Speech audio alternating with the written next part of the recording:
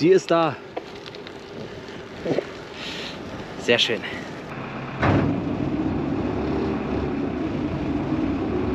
Elbradweg Schartau gesperrt. Jetzt regnet es richtig.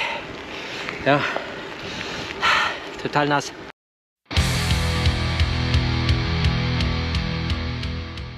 Jo Leute, wir sind wieder unterwegs. Heute wieder Fahrradvideo. Ihr seht schon im Hintergrund, das Wetter ist nicht so Bombe. Ja, ich hoffe, ihr seht mich überhaupt. äh, ja, wir haben es jetzt vormittags, also was ist morgens um, also ich bin so dreiviertel neun los, um acht ging die Sonne auf und will heute meine 100 Kilometer schaffen. Ich weiß, im letzten Video habe ich gesagt, äh, dass ich noch ein bisschen Vorbereitung machen wollte, 70, 80 Kilometer Strecke fahren wollte, aber die Zeit rennt mir davon. Ihr seht es jetzt schon am Wetter. Äh, wir haben jetzt Ende Oktober, ja kurz vorm 31. Also wir haben jetzt das Wochenende, den Sonntag, Sonntag, Montag ist habe ich frei und Dienstag ist ja der 31. Also ich hatte jetzt äh, diese vier Tage als Zeitfenster für diese Fahrt. Habe mir jetzt gleich für den Samstag entschieden, den ersten Tag, weil wegen dem Wetter. Ja, heute ist noch humaner Wind, also ziemlich wenig. Ihr wisst, Wind ist immer ja, der Feind des Fahrradfahrers, sage ich. Ja, äh, heute, wie gesagt, sehr wenig Wind. Und es soll erst späten Nachmittag regnen. Ja, gestern hat es den ganzen Tag geregnet. Darum ist alles auch nass hier. Und ja, wie gesagt, äh, heute soll es eigentlich trocken bleiben. Hoffen wir mal, dass es so ist. Erst späten Nachmittag wieder regnen. Und ab morgen soll es auch richtig windig werden. Teilweise Sturmböen. Und die ziehen sich halt so bis Dienstag hin. Wetter soll aber auch schlechter werden, wieder mehr Regen. Also ist eigentlich nur heute dieser Tag, wo ich das hier machen kann. Ja, wir fahren heute den Elbradweg nach Magdeburg, äh, Roten See, sozusagen das Industriegebiet, da fahren wir rein an der Elbe haben eine Fährüberquerung mit dabei, also richtig schön. Wie gesagt, Wetter wird halt den ganzen Tag bewölkt sein. Ja, also da wird es nicht so schöne Bilder gehen, obwohl ich jetzt eine Drohne endlich habe. Kann man ja gleich mal ausprobieren. Äh, ja, das ist so, ja, was ich vorhabe heute.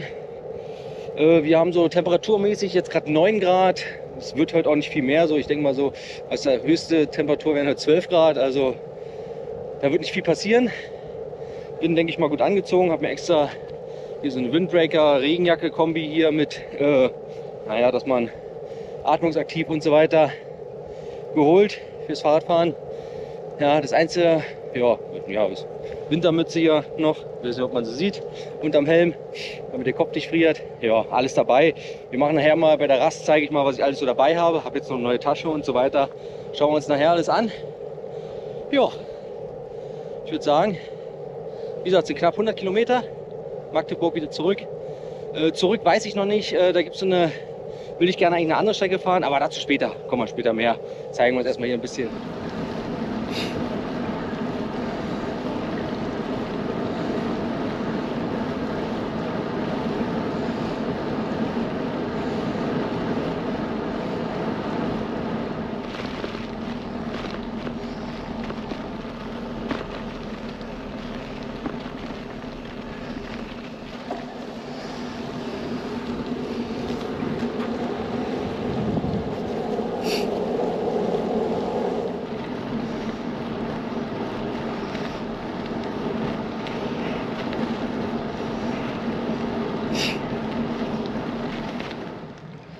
So Leute, die ersten 10 Kilometer sind geschafft.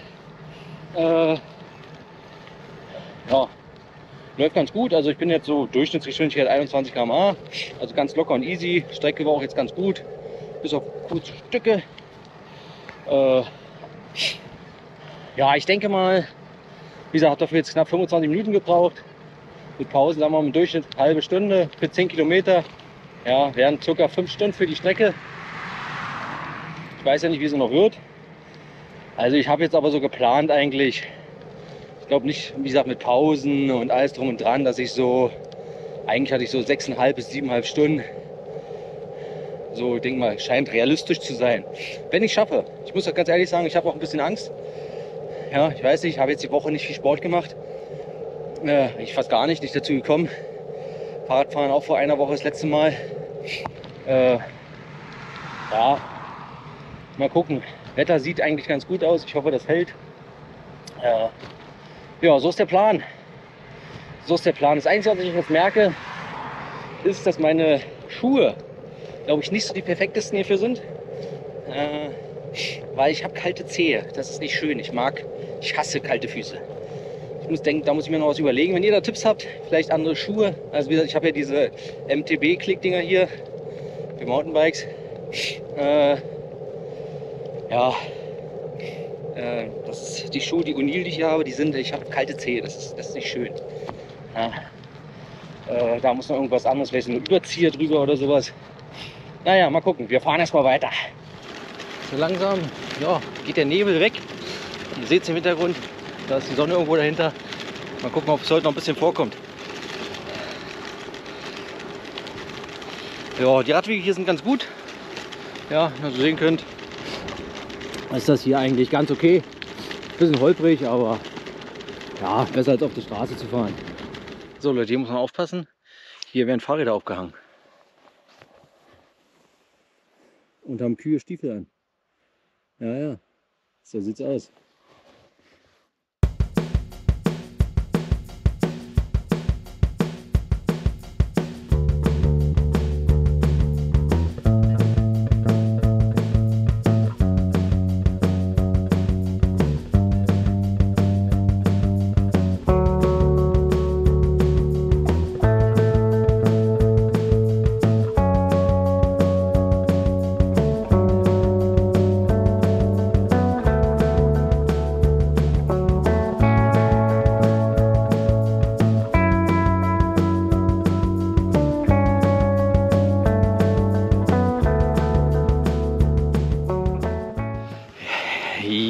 Wieder unterwegs, kurz angehalten, äh, was getrunken, Brötchen noch in die schon mal die ich mitgenommen hatte.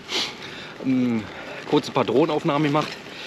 Ja, so alles super vom Wetter her. Wir haben wirklich komplett Windstill gerade. Hier auch schöner Weg, mitten durch den Wald. Ja, einfach herrlich. Ja, der Weg nicht der beste ist hier, durch die Wurzeln halt, aber trotzdem sehr schön. Äh, Fühle mich gut. Wir haben jetzt knapp über eine Stunde in Jange über 20 Kilometer geschafft. Oh mein Gott. Äh, schlimm ist hier mit diesen, äh, wie soll ich sagen, hier Laub und so weiter, ähm, dass es verdammt glatt ist. Ja. Jetzt kommt hier nämlich auch eine Kurve, da muss man wirklich aufpassen, dass man hier nicht wegrutscht. Ja, vorhin war so ein bisschen Schlamm auf dem Weg von der Trecker, da hat es mich beinahe hier ja, aufs Maul gepackt. Ja, da muss man ein bisschen aufpassen mit dem Wetter. Ja, sonst, wie gesagt, Füße einfach noch kalt. Eben beim Anhalten richtig schlimm. Das ist das Einzige, was mich jetzt wirklich stört. Sonst ist alles top. Äh, ich wege immer so ein bisschen meine Zehe äh, beim Fahren jetzt hier so. Das hilft, aber es ist trotzdem nicht schön. Da muss, ich, da muss noch irgendeine Lösung her. Da muss noch irgendeine Lösung her. Boah. Ja, fahren wir erstmal weiter, würde ich sagen, oder?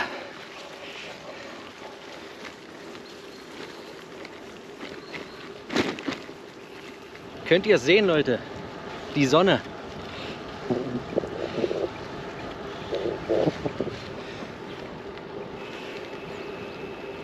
Sie ist da. Sehr schön. So muss das sein. Sehr schön. Geil. Ich freue mich. Jetzt macht es eigentlich noch mal noch ein bisschen mehr Spaß. Ah, schön. Aber mir ist aufgefallen, dass ich mich ein bisschen beeilen muss. Denn wir haben eine Fährüberfahrt. Und die macht um 12 Mittag. Um 11.45 Uhr ist die letzte Überfahrt. Ich weiß jetzt nicht von welcher Seite.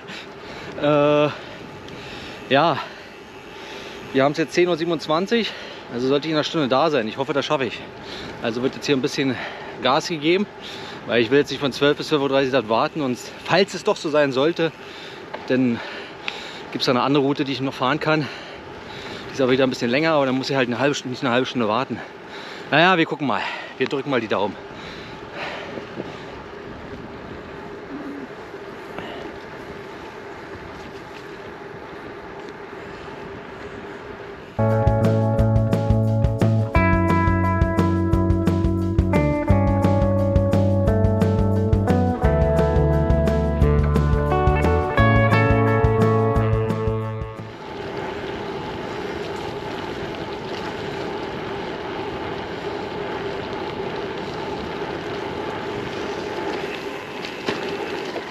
So, ich habe gerade mal geguckt auf dem Navi. Ich navigiere übrigens mit Komoot.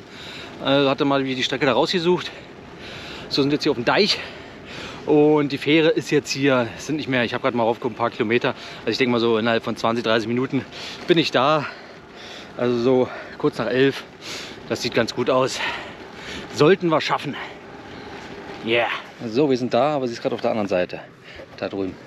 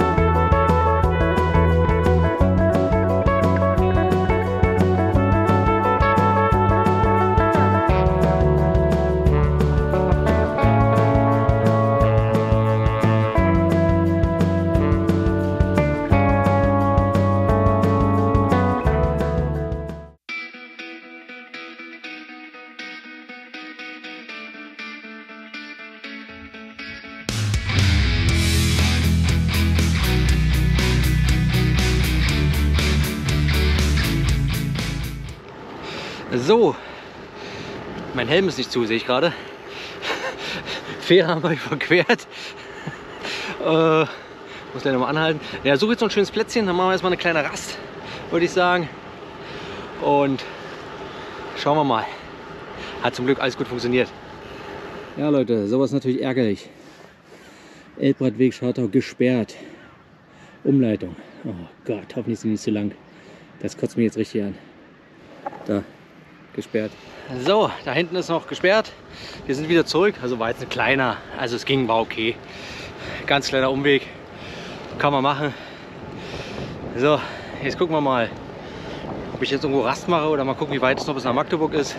Kann jetzt eigentlich nicht mehr so weit sein. Ich sehe da hinten schon das Windrad. Weiß nicht, ob ihr es seht. Da ganz hinten, da steht in Roten See, das weiß ich. Das ist steht bei uns auf dem Firmengelände. So, der Wind hat jetzt ein bisschen zugenommen, aber alles noch im erträglichen Rahmen. Es fängt ein bisschen an zu troppeln, so leichte Regentropfen, aber also wie gesagt nur so ein paar Tropfen. Ich hoffe, wenn es so bleibt, ist okay. Ja, ich habe mich jetzt überlegt, entschieden, was heißt überlegt, entschieden durchzufahren, weil es sind jetzt bloß noch sieben Kilometer. Dann müssen wir in Magdeburg sein. Dann machen wir da eine Pause, Halbzeit. So von der Fitness geht es alles noch. Ich merke natürlich, den Hinter merkt man ein wenig, ist klar. Äh, sonst von den Beine her, mein Knie hatte ein bisschen vorhin gezickt, das rechte. Ist jetzt auch wieder okay. Ja, also ist, ja, wer weiß. Aber sonst geht es eigentlich noch ganz gut. Ja, wie gesagt, naja, ist eine schöne Pause, freue ich mich schon richtig drauf. Hoffentlich finden wir da irgendwas Schönes, schönes Plätzchen. Ja,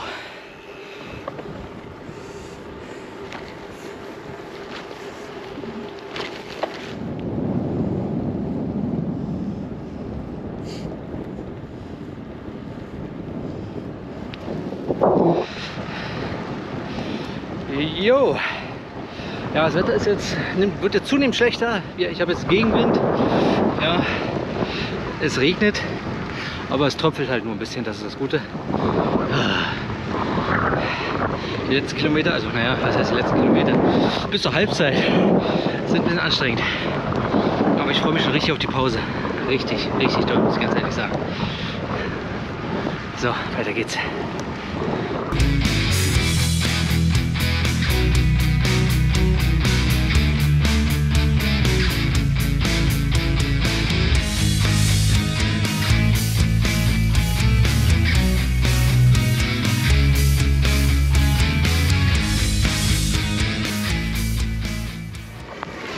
So Leute, es kotzt mich an. Jetzt regnet es richtig. Ja, total nass. Oh, sagt man nicht. Rausschneiden, rauspiepsen. Ah, so ein Dreck. Es kotzt mich richtig an. Alles nass, meine Knie schon nass. Ich habe Hunger, ich muss pinkeln, mir ist kalt. Ich bin nass. Ah. Die letzten Kilometer schaffen wir auch noch. So, wir sind jetzt hier am Elb-Havel-Kanal. Hier seht ihr schon. Da fahren wir jetzt ja, über der Elbe wieder. Da ist die Elbe. Hier ist der Kanal.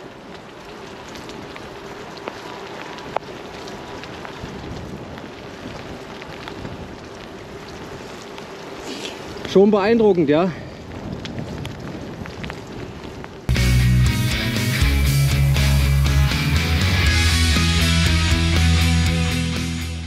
Leute, wir sind in Magdeburg.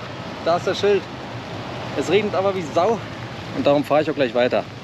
Hier Käsestück Gouda und Gummibärchen. Die Sonne kommt wieder raus. Das ist hier heute wirklich ein Hoch oder Hoch und Tief. Der Regen ist wieder da. Platten würde ich sagen.